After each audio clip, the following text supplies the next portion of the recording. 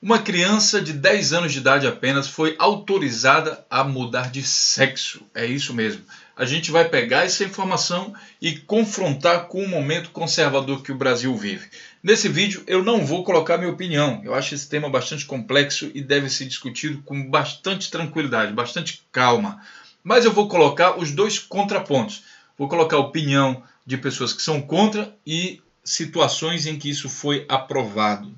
Vou aproveitar aí o embalo de um debate público, onde o Flávio Bolsonaro, que é de extrema direita, ele aproveita a caminhada, a carruagem para culpar a esquerda, porque tudo que ele define que é ruim, por exemplo, o homossexualismo, ele define que é ruim, então ele joga isso para cima da esquerda. Então tudo que ele define que é ruim é culpa da esquerda, né? E, e, daí ele faz uma pergunta meio combinada ali com o parceiro dele, o Crivella, que os dois pertencem à mesma linha ideológica. O Crivella vem de igreja, da Igreja Universal do Reino de Deus, que ele está preocupado com a salvação das pessoas, né? levar as pessoas para o céu de maneira bastante rápida, contanto que as pessoas deixem o dinheiro delas aí com a igreja. E aí a gente vai ver essa informação sendo confrontada com a aprovação da criança. Vamos primeiro aproveitar aqui então o debate político que teve aqui na, entre os candidatos a prefeito do Rio de Janeiro. Vamos ver o que, que eles dizem e vamos confrontar. Vou fazer a pergunta para o Crivella. 30 segundos. Crivella, hoje é uma grande discussão em torno da ideologia de gênero. E para quem não está nos assistindo não sabe o que é, é o seguinte, que alguns partidos de esquerda defendem que ninguém nasce homem ou mulher. O gênero é uma construção social e as crianças escolhem o que vão ser quando crescerem. Isso está sendo é, oferecido via material didático para criança a partir dos 6 anos de idade, Crivella. No seu governo, vai ter ideologia de gênero? Não, Bolsonaro, não. Eu acho que essas questões são questões. Preste bem atenção, porque a principal opinião que interessa é que o Flávio Bolsonaro a gente não leva muito a sério. Mas o, o Crivella, a opinião do Crivella é que a gente vai confrontar com a notícia real. Preste bem atenção no que ele fala questões bem definidas na civilização ocidental que nós temos orgulho de pertencer. Bom, ele fala, em primeiro lugar, em nome da civilização ocidental. Civilização cristã. Família e os princípios da família são definidos pelo papai, pela mamãe, no lar, na sua casa. Cabe à escola, sim, da educação, da cultura, aprender, as crianças aprenderem a conviver, a aprender, a se desenvolver, a criar. Mas isso não, Bolsonaro. Nós cremos na família como ela existe desde o princípio. Eu agradeço a você porque existia no passado. Ele chega até a agradecer o Flávio Bolsonaro, né? que é perguntas combinadas, a gente sabe disso. Eles combinam, olha, como é que eu faço uma pergunta para te ajudar? Aí o cara explora mais o tempo dele para ele conseguir se se, digamos assim, se promover mais ainda. Uma tentativa em países totalitários de. Aí ele fala que a tentativa foi em países totalitários. Escutem bem, porque isso aqui vai confrontar com a notícia. Para você, porque existia no passado uma tentativa em países totalitários de acabar com a família exatamente porque achavam que ela trazia no seu bojo essa coisa do, do filho que ama o pai, do operário que respeita o patrão. E achavam que assim poderiam acabar com as classes. Isso não deu certo. Os países derramaram muito sangue, nada disso funcionou. O que continua é a família como todos conhecemos e é a família tradicional cristã. Por isso eu quero aqui dizer a você que está em casa e tranquilizá-lo de que defendo esses princípios e valores que eu tenho certeza é o seu também da maioria do povo brasileiro.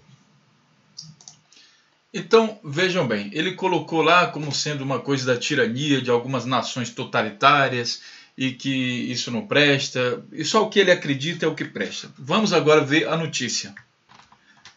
Menino de 10 anos de idade muda de sexo na Noruega. E aí começa um confronto de opiniões. Por quê? Primeiro, é um menino de 10 anos de idade que realmente mudou de sexo, só que não no Brasil, logicamente, Agora, é, acontece na Noruega, um país de primeiro mundo. Vamos entender primeiro a notícia, depois vou falar um pouquinho sobre a Noruega e depois vou falar sobre quem está acusando a Noruega de ser um país totalitário.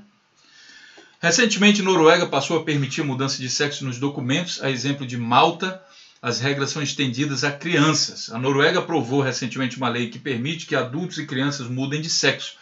Em outros quatro países, Argentina, Irlanda, Malta e Dinamarca, há leis que permitem que adultos mudem de sexo, mas somente Malta e agora Noruega estendem essas regras às crianças. Essa notícia é do dia 1 de outubro de 2016. Assim como Anna Tulin, de 10 anos, conseguiu legalmente o direito de ser tratada como uma menina. Em algumas semanas terei um novo passaporte, agora terei um F, conta a menina empolgada com a mudança. Ana nasceu menino, mas afirma nunca ter se visto dessa forma. A mãe Siri Online Maid conta que percebeu que o filho Adrian era diferente aos 3 anos. De acordo com o G1, a nova legislação norueguesa permite que crianças a partir de 6 anos, a partir de 6 anos, lembra o que ele falou lá na, na declaração dele? Países totalitários, criança a partir de 6 anos, pois é, desde que tenham o consentimento dos pais, possam solicitar mudança de sexo nos documentos sem terem que passar por avaliações psiquiátricas ou cirurgia, de mudança de sexo. Bom, você percebe que existe uma certa facilidade aqui de mudança de sexo, né? E isso é contraditório com um país totalitário, porque se o país totalitário não, não pode, ó, está proibido isso aí, vai contra a família cristã e a gente é cristão, então não pode. Isso é totalitarismo. O engraçado é que o totalitarismo está vindo de pessoas que se dizem democráticas, que é o Flávio Bolsonaro e o Crivella. Não, isso eu não permito, isso não vai ter porque eu não gosto disso. Eu percebi que Deus criou assim assado, então eu decido, a partir de agora eu sei o que Deus está pensando, então eu decido que não pode.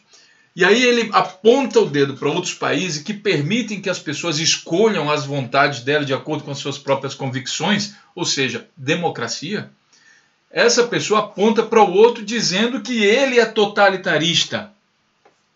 Agora veja a lógica desse tipo de coisa. Mas essa característica, pessoal, é bastante interessante na direita. Normalmente eles costumam acusar os outros, os seus inimigos, dos defeitos que eles têm. Por exemplo, o Crivella dizendo que não, nós não vamos permitir isso, porque isso já foi testado em, em países totalitários. Portanto, se você não respeita a opinião do povo e do cidadão, é você que é o totalitário. Aí você aponta para Noruega. Quem é Noruega, minha gente? Noruega é isso aqui. Eu vou pegar do Wikipedia porque, como são informações gerais, a gente pode pegar daqui. Vamos entender um pouco. Capital é Oslo. Uh, o governo é aqui, olha, monarquia constitucional. Você pode falar ditadura, não sei o que, não. Monarquia constitucional. Tem um rei e a primeira-ministra. O presidente aqui, Olemic Thommessen. A área, não sei o que, população, 5 milhões de habitantes, densidade, PIB, Estimativa de 2013, 282 bilhões de dólares. PIB per capita, olha só interessante, 55 mil dólares, PIB per capita. É quanto cada. Você dividir a riqueza do país pelo número de habitantes. E aí você tem uma coisa que é interessante, olha, o IDH, Índice de Desenvolvimento Humano, 0,944, o máximo é 1 é o primeiro do mundo, minha gente. É o país onde existe o maior índice de desenvolvimento humano. É o primeiro do mundo, é muito elevado. É a Noruega. Inclusive, a Noruega é colocada aqui como sendo o país com maior qualidade de vida do mundo.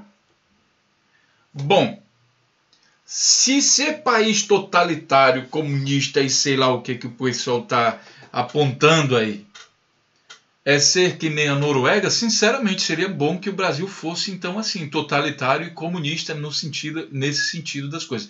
Não entenda que eu estou dizendo que o Brasil tem que ser comunista, não é isso.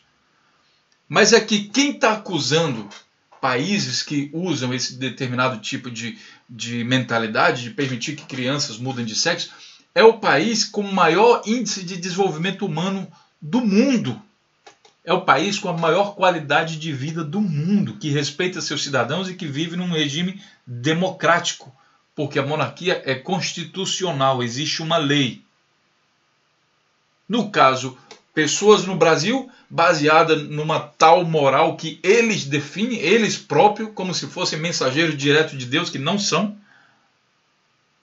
Eles definem quem é totalitário, sai apontando o dedo para todo mundo e o Crivella, sinceramente, fazendo um papel desse.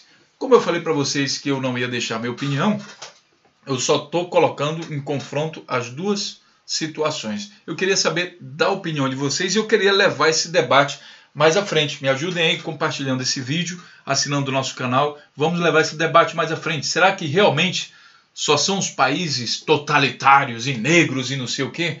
Como eu já provei aqui que não é o caso? Né? Então, coloque sua opinião, deixe seu comentário, curta o nosso vídeo e o nosso canal. Muito obrigado pela audiência e até o próximo vídeo.